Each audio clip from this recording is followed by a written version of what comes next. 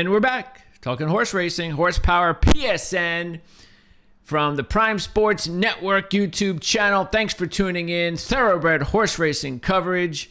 Jon Hardoon from the Ragozin Sheets joining me as always. How's it going, Jon? Good, Greg. How are you? I'm doing better, of course. Uh, another week with electricity and with uh, internet, even though this internet sucks. So if we have any technical difficulties, uh, you know who to blame. Uh, so it's going to be a few weeks before we can get the fiber optics going here in our studio. But a show is better than nothing. So we've got Keeneland on our minds once again, Jon. And speaking of Keeneland, last week, that was a little bit uh, crazy last week. We, we, had three races that we handicapped. Of course, we had one on YouTube. That was the Queen Elizabeth II Challenge Cup. And Jon, you uh, actually we, we, we both liked uh, the three. She feels pretty, and boy, did she feels pretty dominate. Uh, well, she was dominating in that race. Yes, she won pretty easily, and uh, the price actually wasn't too bad if you just wanted to take her. I mean, she won easily. Uh, I don't think we gave out. I didn't give out the exact, or I don't no. know if you did, but no. All right. No, missed on the exact. Yeah. But hey, you know what? The uh, again, like you said, I was surprised too. That what was she like four to one, maybe or three to one? You sure? I think she went a five to two. Five. Okay. So this again, not all that bad uh, considering how uh, strong uh, she was. She had already. Uh, uh, she, that's her second grade one win too. So. And she won very easily, and she's got a nice future of, ahead of her. She just continues to improve, so that's all good. And then we talked about on Patreon uh, the sixth race. Uh, now, your top horse scratched, but you also had the two horses that actually ended up finishing first and second, a 4 1 exacta. I forgot how much that paid, uh, but hey, a win's a win. Unfortunately, the eight scratched. And then in the ninth, uh, your top horse did not come in, but you had a long shot that you liked in this race. And matter of fact, I'm going to pop that on the screen right here from last week's show. So uh, let's take a listen to what we talked, what you talked about last week. You know, listen, you missed, you left out a horse that I think you should talk about, and that's uh, Surface.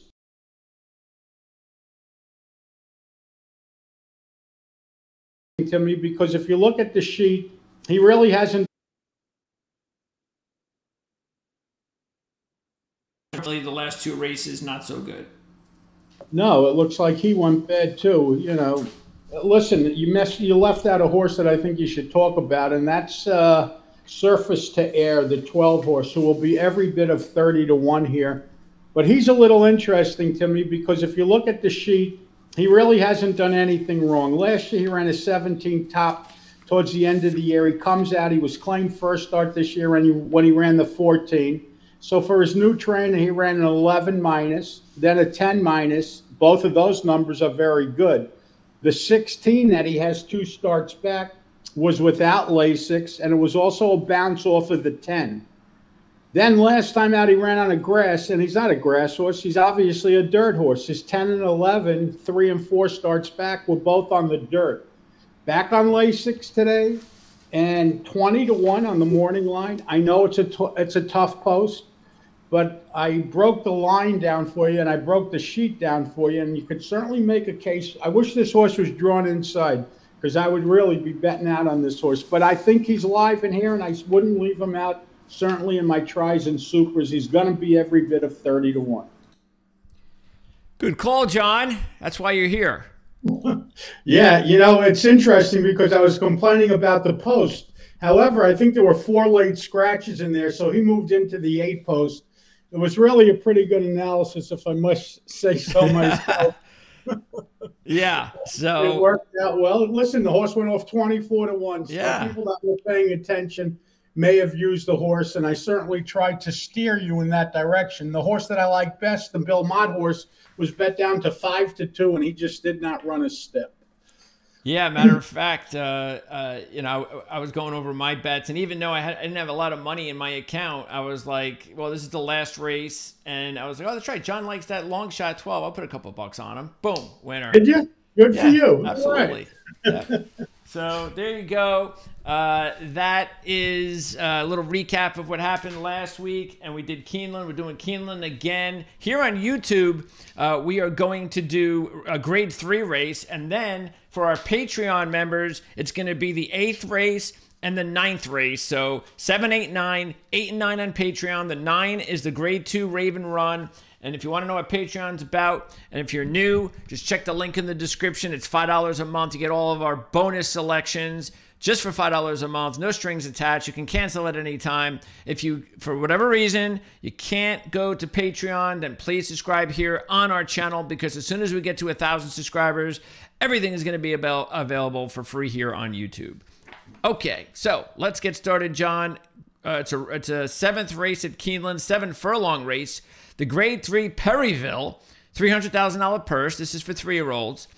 And uh, yeah, this is a, a really uh, deep field. We've got uh, 12 horses, and even though there's a there's a couple of short horses, you got the two to one shot Book'em Danno, that's the five. You've got the three, a three to one shot Knightsbridge.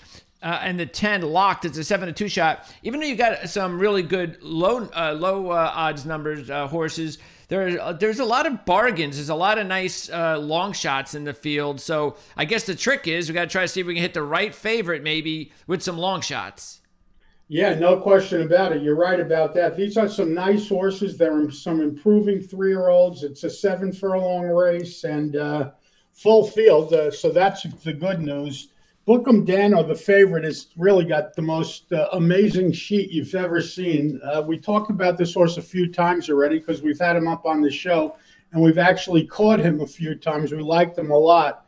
Well, this horse has never done anything wrong. It's really, he's got an amazing sheet. As a two year old, he had 10 top, and then he came out this year 866. So he's just never gone backwards. His only bad race was the last race he had last year when he was going a mile and he ran the 13. Throw that race out, and every race is better than the previous one. And this train has done a terrific job with the horse. He spaces his races perfectly. He gives him time between races. You know, you're just not going to continue to improve forever. But that being said, to me, he looks pretty strong in this race. Yeah, uh, again, uh, no other horse in this uh, uh, field can touch those two sixes coming in and a string of single digits. So clearly the horse to beat. Let's uh, talk about the other two I mentioned.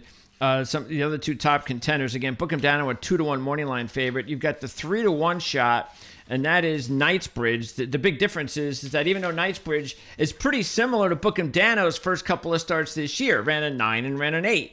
But uh, he ran a nine in November and an eight in March, so we haven't seen this horse a lot. Uh, that's that's that's the deal right there. Is that even though you like those two numbers to start out of the gate for uh, this horse's career, when you compare it just to Book'em Danno, I mean, why would we go with a horse that just doesn't race a lot when Book'em Danno has a lot more experience and even better numbers, and the price is pretty similar? Yeah, well, but Knightsbridge is really, I mean, he could run anything. He yeah. ran a nine as a two year old first out, and he won that race with trouble. And then he came out as a three year old, got Lasix at Gulfstream. The problem with this horse is where's he been? You know, he hasn't been out. He doesn't run often, and he's only making his third start. He was last seen back on March 28th, I believe, and uh, he's been away ever since. He could certainly win. Listen, you run a nine as a two year old, you're eligible to run anything. But that being said, I, I, I, agree with you. It's not like there's such a big price differential. If the three horse was 10 to 1 Knightsbridge, yeah, I would take a shot with him. But he's only a point higher than Book'em Danno, and uh, I think Book'em Danno is better. And then you have uh, the 10, and right off the bat, uh, you have to talk about the fact that Locked, a 7 to 2 shot, is on the outside. Uh, Locked does have a couple of nines. Uh, but so far, we don't know whether or not this is like an up and down kind of horse. Start off with a 13, then a 9, then an 11, then a 9. So, uh, but look, that last nine was almost a year ago. That was at the Breeders' Cup juvenile race. Uh, this was the favorite, matter of fact, the favorite of the Breeders' Cup Juvie race. Finished third. Uh, does have a win at Keeneland, though. That was the 11 last October. But again, we've got a couple other horses in here that just look a little bit better. Plus, Locked is on the outside. This looks like a very good horse, but just like you said with the three, where where's Locked been? The same problem. He hasn't been out since last year's Breeders' Cup. I mean, he's away almost a year. You know, he's a couple of weeks shy of being away a year. That's the problem with the race. So, you know, and again, locked is not a price. He's seven to two on the morning line. He's going to take money. Knightsbridge is going to take money. So all that's going to do is hopefully let uh, Book'em Danno's price go up a little bit. Yeah. But again, if a horse like Locked won, it would be no surprise. He was very he had a very strong line as a two year old, 9 11 9. He's eligible to come out and run anything. That's the problem with the race. So, um, you know, you got to decide what you're doing here. And I just think that I'm going to take the easy way out and go with Book'em Danno. There are some other interesting yeah. horses in the race. Dilger is listed at 20 to 1 on the morning line. He ran a 10 and a 9 in his last two races. You know, uh, he's getting better. It looks like all of a sudden he's gotten real good in his last couple of races, but he's 20 to 1. At a short price, I would have played him to react. But the fact that he's 20 to 1, you certainly could use him. Even the one horse, Enro or whatever. I mean, he looks like he's stuck on nines, but he's breaking from the rail. He's 12 to 1. You know, if these layoff horses don't come back running, well, then one of these horses will get in the exact.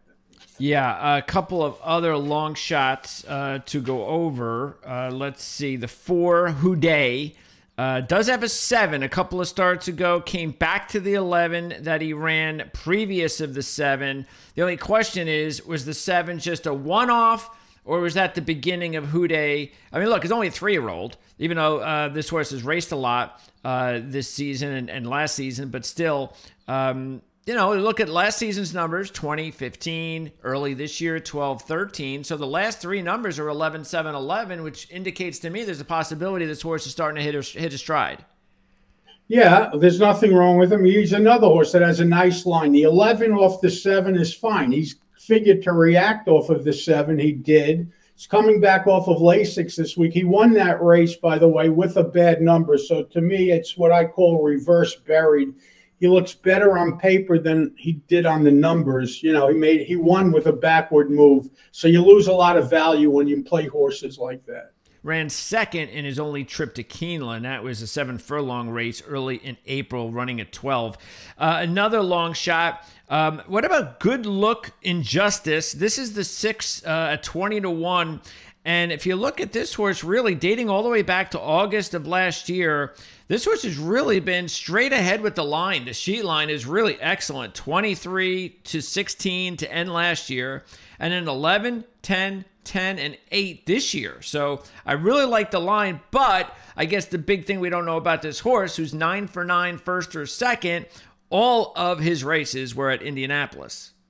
Yeah, and he also got really good this year when he went on Lasix. Uh, he ran the 11 first out this year when going on Lasix for the first time, and he stayed on Lasix ever since. Okay. The problem I have with this horse, and I would never tell anyone not to use a 20 to 1 shot. If you like a 20 to 1 shot and a 20 to 1 shot that has a legitimate chance, you certainly should do it. The problem I had with this horse is he has no real foundation as a two year old as a two year old, the best race he ever ran was a 16, where you have horses like Knightsbridge, who ran a nine. Um, you know, Lock ran nines as a two year old. So those horses have the potential to come out and obviously run much better. But the problem is, those horses are going to be bet where this horse may not be bet. And if you wanted to use this horse at a big price, I have no complaints. I mean, I, you know, you could certainly do so. All right. Uh, the seven is Patriot Spirit at 15 to one shot coming off an eight. Now, this horse has also improved each time out this year. 1917 to start the year. So it looked like, well, yeah, since last year to February, March, nothing's happening. But then, boom, 11 in April. Followed that up with an eight. I mean, you could have easily thought about a bounce, but she had, he had enough time between those starts from April to September now it's a little bit shorter time, but still coming off an impressive eight. Yeah, but it is a big race. It just and it was also first time Lasix, so it could have been a Lasix pop number. And uh, I would play that horse to react. He's only fifteen to one.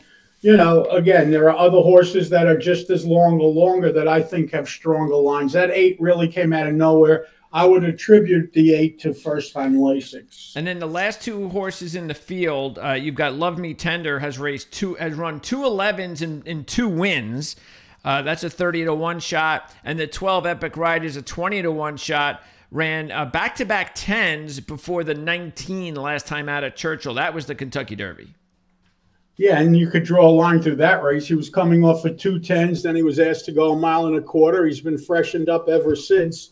So he's got a shot to come back running, and that's what makes it, you know, an yeah. interesting race.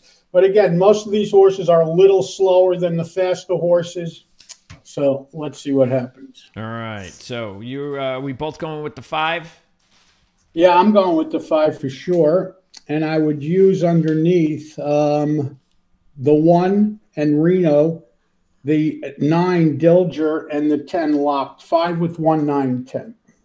Okay, one, nine, and ten. So I'm going to go ahead then. I'm going to go with the uh, the one, the four, and the six with the five. So the five with the one, four, six. You're going to go five with the with the one, nine, and ten. Sounds like a plan. Now we are going to say goodbye to our YouTube viewers once again. If you want to find out what we talk about here with races eight and nine at Keeneland you got to check it out over on Patreon. The link in the description. Once again, just $5 a month. You get four shows. That's it. Four shows, which totals up to somewhere, especially don't forget, even this is Breeders' Cup month. Well, next month is Breeders' Cup month. And that means that even though we're going to be doing a lot, we're going to be giving some uh, race coverage on YouTube a lot uh, for that. We are going to save at least a couple of races for Patreon. Uh, so that's always going to be the case. So, anyway, uh, for our YouTube viewers, uh, we're checking out. Uh, don't forget to subscribe if you don't join us on Patreon.